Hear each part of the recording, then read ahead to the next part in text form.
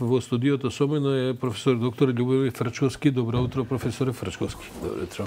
А, вие сте ден, деновиве некако избита работа а, вчера, ако не се лажам, кога се прочуе како резултат на изјавата на председателот на Собранието Тала Джафери дека сте предложен за амбасадор во Обединетите нации во Нью Йорк. Утринава на тоа реагираше Милошовски, бидејќи гледам дека тоа тренда и на МК, во кој што Антонио Милошки се председател на надворешно политичката комисија на Собранието на Република Северна Македонија, во кое што практично вели ќе направам се и нема да дозволам Фрчковски да не представува во Обединетите нации. Ајде да чуеме изјава која е директно на ова некаква реакција. Па не знам ја дал да го коментирам тоа, сашо затоа што таа процедура не е завршена. Можам законските и уставни позиции да ги скоментирам. Врската во на амбасадорите воопшто е дадена во рамките на председателските надлежности уставни. Со него фука се поставуваат. Ова е една странична необврзна процедура во собранието, таа и без неа може. И, но истовремено таа процедура се претвори поради политичките вакви блокади на опозицијата, веројатно и на тој, тоа лице што ја води комисијата во некаков пазар и притисок до до власта Добро, што, сега... што е право, речи си сите комисии во собранието се блокирани, тоа е тема за која се разговара и деновиве, бидејќи опозицијата се обидува очи на избори се разбира да оневозможи па дури и законски важни проекти да поминат затоа што сметаат дека Разлика, тоа има Да, разликата е во тоа што тие комисии имаат обврска да работат, оваа комисија околу хирингот на амбасадорите е факултативна, не е, не е суштинска. Мислам дека треба председателот на Републиката да го преземе тоа таа своја уставна надлежност посериозно во своји раце, бидејќи ќе биде предмет на влегување на собранието во негова уставна надлежност, тоа е кршење и на уставот и на законот на некој начин. Mm. Тоа е единствена Сега, мене ми е незгодно за тоа зборам, бидејќи директно сум повлечен во тоа, заинтересиран, но таква е уставната и законска позиција.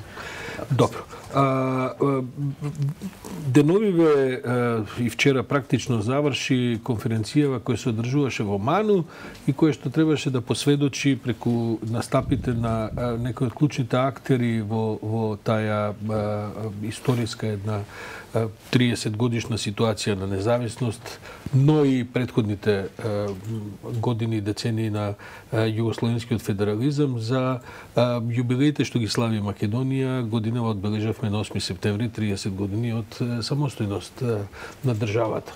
Добро, Ману се сети некако 20 на дена подоцна да направи една конференција на која што за дивно чудо што викаат се појавија и двајца ликови кои што малку сме ги подзаборавили а по собствено наоѓање беа исклучени од јавноста. Говорам за председателот поранешен Иванов и поранешниот председател Бранко Црвекуски.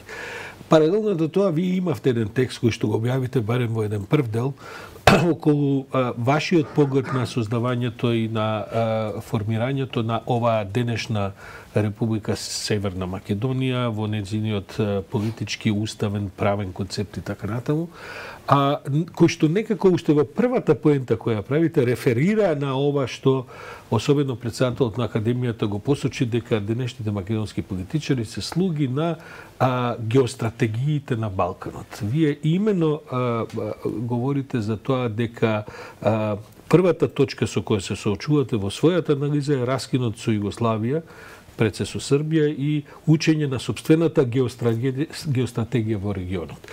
Чини баш тука е, како да кажат, се допираат тие плочи. Како ви вашиот коментар, бидејќи сигурен сум дека сте, сте проследиле што се се говореше? Она што е важно кај овие прослави е архивата, постоењето на меморија за создавање на нацијата, корените, концептите.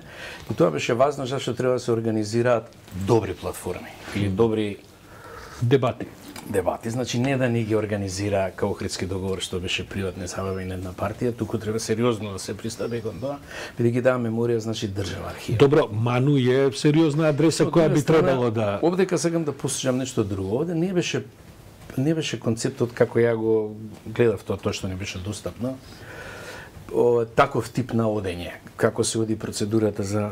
Овде беше една и тоа е добро што се појави така, беше една карактеристична македонска паника, политичка паника, дека големите прашања кои Македонија досега и политичарите ги користеа за алиби за нудните лоши политики, грешки, блокирања, стоење у место, развена корупција внатре, одеднаш може да исчезнат. Односно, одеднаш може некој да ги реши во еден многу краток период и постоеше практично и, код, и во двата говора од различни аспекти. Говорите за Иванов и за Црвенковски. Да, Иванов, добра, Иванов нема политичка некоја позиција, али планктонска повеќе, меѓутоа има израз на тие македонски националистички дупки каква за жал беше во тој момент и Мано. И од друга страна една политичка кариера од, од левицата која исто така на некој начин се врти околу тие клучни прашања кои не можат кои не може да ги решат тогаш со сите напори. И сега одеднаш овен краток период може да се реши. Алибито клучна по која се проценува нивната политика до сега, нашата политика до сега, соочување на македонците со една сосема нова иднина, во која нема да имаат алиби зашто не можат, туку ќе се отвори една слободна операција, се решава во период од две години, после пршина. Устари во една година. Кој ги решава? Сега дали оној што знае слабо англиски уште после српски? Не е важно. Важно тие се решава во, во светло на таа паника, ќе ги видите елементот на говорите, кој е пон со емоции негативни, иако не го изговараат името на Зоран Заев, всушност они на Зоран Заев гледа не на Македонија и незините проблеми. Значи, како он, со тие капацитети кои го гледате, со вакво, онакво, како е во нивните очи, ова може да го реши за година, дена, човече.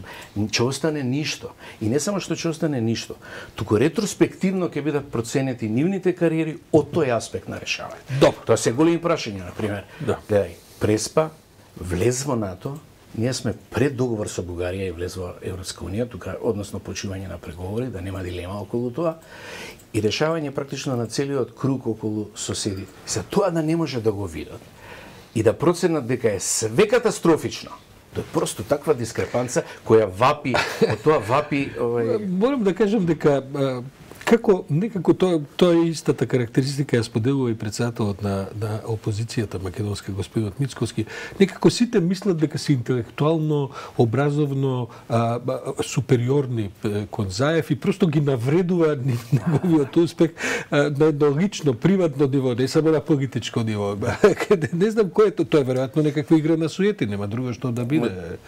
Да, тоа е игра на суети истовремено, меѓутоа покрупна е работата. Во овој случај он ги решава проблемите кои на вистина се крупни, реални, не се суетни са проблемите на Бранко и неговата немање храброст да донесе одлуки или да да има некој каков концепт кој го знаеме дека го немал никогаш, мислам, но не е важно, важно е дека овој ги решава и тоа ги решава на начин кој е добар. Преспанскиот договор е одличен договор.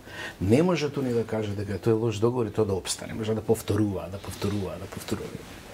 Се со Бугарија ќе заврши работата. Внимавајте како Многу ми е интересна таа техника околу како се одвива диалогот и како се палат, како тачно ги тестираат овие случајно може да веројатно може би некако свесен концепт. Значи прво оди една меѓународна поддршка и расправа, процедурална расправа околу решавање на проблемот, шокови околу тоа. Потоа оди една политичка машина за перење. Ке ги пуштат сите опции, можни, неможни, во кои се палат одеднаш расправите. Тука стануваат овие националисти. Можело вака, не можело вака. Ке забележите дека прво беше проблем губењето на македонскиот јазик и нација, се одеднаш тоа исчезна тема. Се однеш тоа веројатно не го губиме и го заборавија. Се тие нема да се појават да речат види ние тоа што зборевме се глупиравме, извинете. Отчуто. Се одеднаш бугарскиот фашизам е овај иако тој бугарскиот не е проблем за бугарите е проблем окупатори што се не само фашисти, бидејќи они се фашисти и во грчките учебници, италијанските фашисти се овде фашисти, и постои еден проблем, знаете, постои нешто што се нарекува denying holocaust проблем. Не можете да ги одречувате фашистите лесно, од Втората светска војна, бидејќи крично дело. Не можете да речете немало холокауст или не го правеле германските фашисти и нацисти тоа. Че тој проблем е друг. На крајот кога ќе дое тоа решавање, можеби ова со бугарските нема ни да биде на маса но истовремено во оваа машина ќе се исперат одеднаш енергиите ќе искочат сите и на крај ќе добиеме некој решение кој ние не само можеме да го носиме, него е сосема окей. Значи, тоа е сепак еден процес од ова, колку што разберење, процес кој што е а, под контрола, кој што е координиран, кој што е неизвесен за времето, но целта му е релативно поставена. Така, така изгледа и тоа е посебната паника што ги нервира.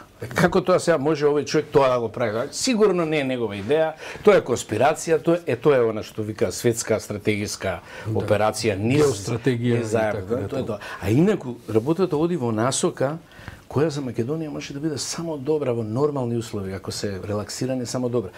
Патите кои се коментарите. Ние Македонија изгубивме со Преспа. Значи ја немаме Македонија се.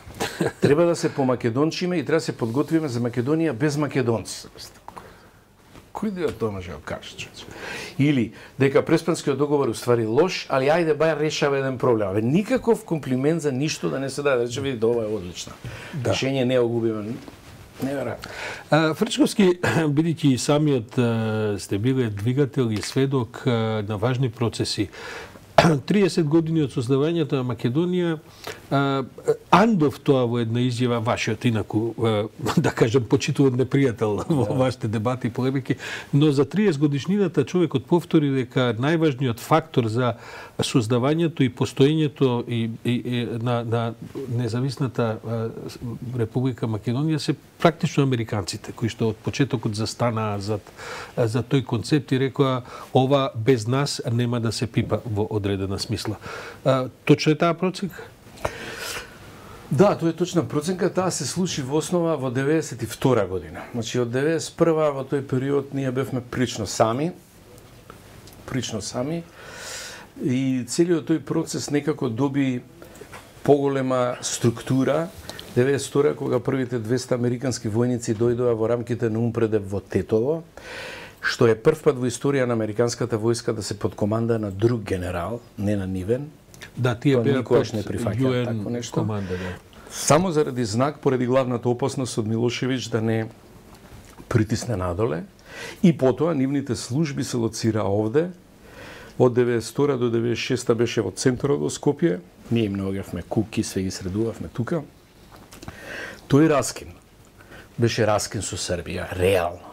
Другото, раскинувате формално ова, ама не се знае, имате предлог на Милошевич 93-та формално за поделба на Македонија, 93-та година, до Мицотаке спишува овај желе во своите мемуари. Значи, таа авантуристичка, агресивна политика која не остава на крај како најлесно решение, стои уште на маса. И тоа присуство на американците, после тоа се гради политичката, дипломатската линија на нив, е клучна за тој раскин и мислам дека тој раскин беше одлука на Глигоров исто така, така да многу лесно него некој пат го квалификуваат како човек на Белград, као не, нема везе, тоа беше негова одлука, без него не можевме таа одлука да донесеме и таа одлука тој ја плати. Да. Цената за таа одлука. Кога веќе го допревте тоа прашање, тогаш понудивте оставка, говориме за атентатот, Црвенковски не ја прифати. Денес имаме слични ситуации. Како ја дефинирате одговорноста на еден министер кога, како да кажем, додека седиме овде кога сте министер, може да пукне некоја гума на некое возило во вашиот ресор и не дај Боже да загинат луѓе. Има ли врска помеѓу она што се случува, па би рекол дури на технички ниво во министерствата со политичките одлуки? Како на тоа гледате? Па гледайте, оставките се, мислам, окей, не е тоа ништо спорно. Е, Е проценка и на министерот лично, и на колективот. Проблемот со, со атентатот беше проблем што притисокот од мене беше сега ти ќе избегаш од формирање комисија истрага, па нашите колешки новинари одеа трчаа ме молеа да да не ја прифатат мојата оставка кај да не споменјам некои лица од опозицијата сега и така натака. Идејата беше да не избегаш од, од таа одговорност од типот на подготвување. Добро. Иначе можеби беше за мене лично погрешен потез да не ја да не биде да останам во целата варијанта. Може да биде иста таква ситуација и со министерот за овој здравство во момент дека притисокот на кон владата оди на начин кој е неоснован.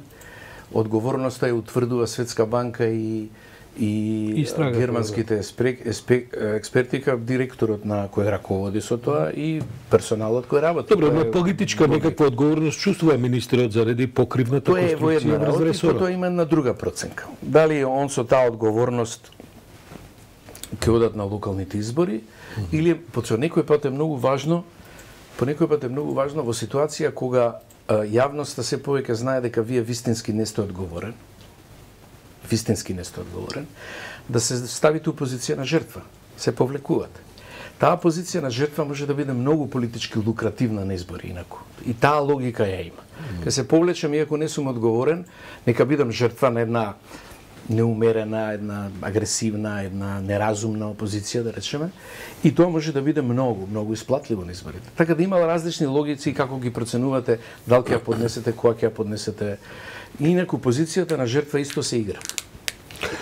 Фрчковски, бидејќи имаме уште само две минути, сакам да ве вратам на почетокот на овој разговор. Доколку се помине како што предвидуваат овие процедури за, за амбасадорски именување и така натаму, без разлика што ќе има тука компликации, свесен сте и самиот, да. нели? А, што всушност мислите дека е нашата работа во Обединетите нации, бидејќи се работи за еден од центарот на а, светската политичка моќ пресечена низ еден мултилатерализам кој што што патем биде речено е пред големи предизвици во овие неколку да. години надазад. По Македонија, ко мала држава, има единствена голема предност е мултикултурните среди, односно мултилатералните средишта, кои Обединените нации, Виена, Брисел, НАТО и така натака, пошто тоа е начин да направите мрежа на влијание која не можете да ја направите на билатерален план, немате сила и немате енергија. И тука е многу важно представувањето во основа. Во нашето представување се базира врз тоа дека Македонија е добра приказна тамо. Во минатиот извештај на генералниот секретар за мината година има само два успеха кои се вака значајни, извадени. Тоа е некаков полумир во Етиопија и Преспанскиот договор наш. Значи, со Грција. И тој е елемент на нашето нашето учество играње по правила, играње по во рамките некаков мир и билатерала. Македонија треба на некој начин да почнува да го наплатува со својата поактивна улога или поприемчива улога тамо, тоа е една точка од таа политичка агенда. Втората е политичкиот систем на мултикултурна демократија, играње по правила и соработка со соседите во која ние сме регионален пример на некој начин. Тоа исто така има многу проекти кои се врзуваат за тој вид на соработка регионална и тамо треба да посебно еден концепт на reconciliation, помирување кој е проектен тамо и човекови права секако и тој комплекс ние можеме и тоа ние сме заморени од тоа морам да ви кажам да не учат. За нас други да ни предаваат околу тоа. Ние кај мултикултурните или преговорите на идентитети имаме резултати, имаме договори, имаме експерти кои учествувале. Значи ние тамо ќе учествуваме, Меѓутоа сега можеме да учествуваме и као едукатори на таа ситуација. Значи се вметнеме на едно друго повисоко ниво на влијание.